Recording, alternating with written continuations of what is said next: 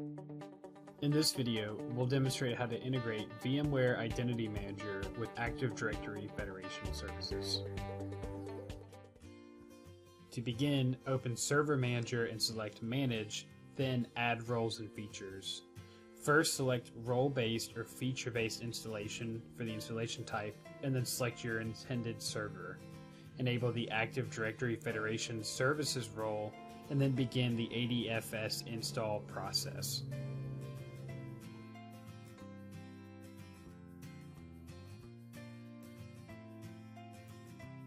Once the installation process finishes, we need to configure the Federation service. Navigate to the notifications icon in Server Manager and click Configure the Federation service on this server. We are creating the first Federation server for this deployment, and we'll use our existing administrator account to connect to ADFS. We'll supply our wildcard SSL certificate and update our Federation service name to adfs.airwlab.com which will be the endpoint where our ADFS service will be hosted. Lastly, enter a friendly name for your Federation service display name. Specify the service account that will be used for ADFS by either creating a group managed service account or providing an existing domain user account or group managed service account. A database is required for ADFS, and you can either use a Windows internal database or an existing SQL Server database. For simplicity, we'll create a Windows internal database. If you are using a Windows internal database and you are prompted to overwrite an existing ADFS database on the server, ensure you choose to overwrite before continuing. Click Configure to begin the installation and wait for the process to complete. Once the installation is complete, return to Server Manager and then navigate to Tools, ADFS Management. Expand Service and select Endpoints, and then scroll down to find the Metadata Endpoints section. Find the Federation Metadata Endpoint, and then navigate to this endpoint in order to download a copy of your Federation Metadata XML. This Federation Metadata XML will be used to establish trust with ADFS as an identity provider from VMware Identity Manager. Log into your existing VMware Identity Manager console using an account with administrator access, and then navigate to the administration console. Confirm that your chosen directory is synced and contains at least one synced user, which we will use to authenticate with later. Under Setup, User Attributes, confirm that any required attributes for your domain users are marked as required. Note that if you need to make changes here, you will need to delete and then resync your directory before these changes will apply. Navigate to Identity and Access Management and then Identity Providers.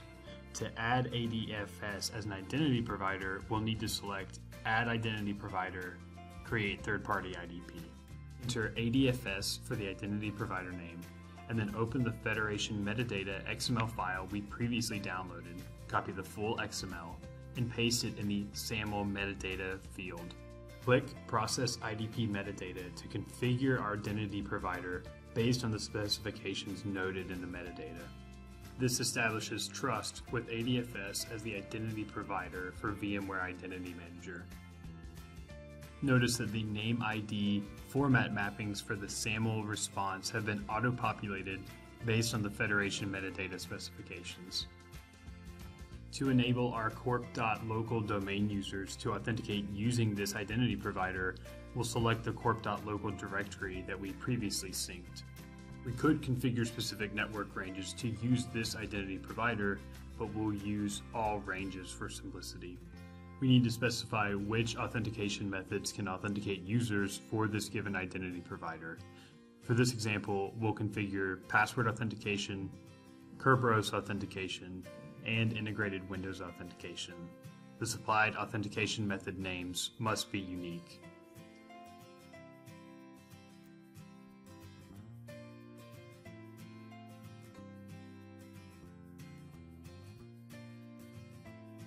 We can enable the single sign-out configuration so that users are logged out of their IDP session once they sign out of the application portal. You can optionally supply a sign-out URL and redirect parameter but we'll leave the defaults and allow the users to be redirected to the identity provider using SAML single logout.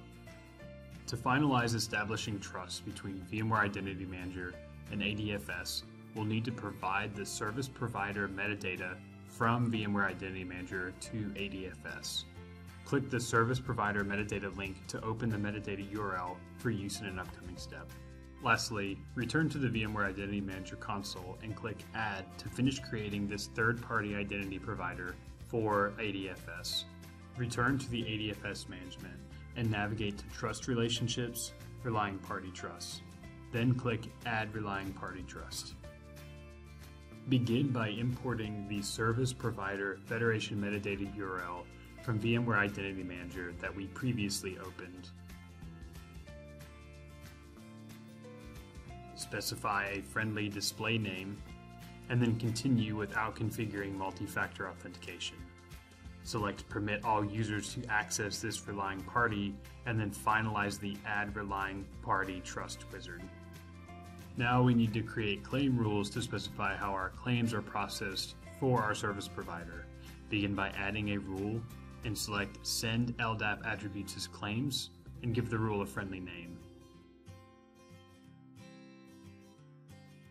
Then select our Active Directory for the attribute store and we'll map our email address LDAP attribute to email address in the outgoing claim type. Create another rule and select Send Claims using a custom rule, and then provide a friendly name for this rule. Then paste the provided custom rule from the video transcript. This rule will transform the claim into a format that VMware Identity Manager can use to authenticate the request.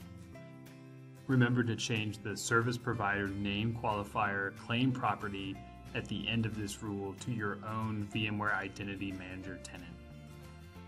Apply the created claim rules and then return to your VMware Identity Manager tenant. Navigate to Identity and Access Management and then click Policies.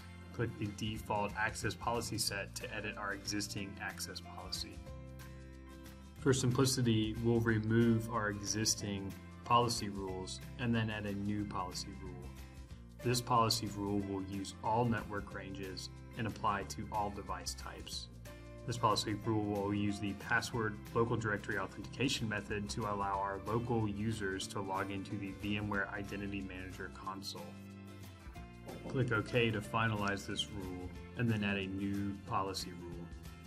This rule will apply to all network ranges and all device types again, but we want this rule to apply only to our corp.local users. We'll configure our authentication methods to first attempt Kerberos authentication and then fall back on Windows authentication if that fails or is unavailable. We'll fall back on requiring the user's password if Windows authentication fails or is unavailable as well. Click OK to finalize this rule. Our policy rules apply in the order that they appear, so we need to drag our corp.local user's policy rule to the top so that it is processed first. Otherwise, our other rule that we created will attempt to authenticate all users using the password local directory authentication method. After you've rearranged your policy rules, click Save. To test, we'll switch over to a Windows 10 resource in our network and navigate to our VMware Identity Manager URL. When prompted for our credentials, we'll supply one of our domain users from corp.local. Instead of being prompted for their credentials through VMware Identity Manager, the access policy will send a claim to ADFS for authentication using the authentication methods that we've defined. After authenticating, the user has access to their bookmarks and catalog of applications. If we attempt the same authentication flow from the VMware Workspace ONE Windows application by providing our VMware Identity Manager URL and our corp.local domain username, you'll see that we are prompted to authenticate using Windows Integrated Authentication.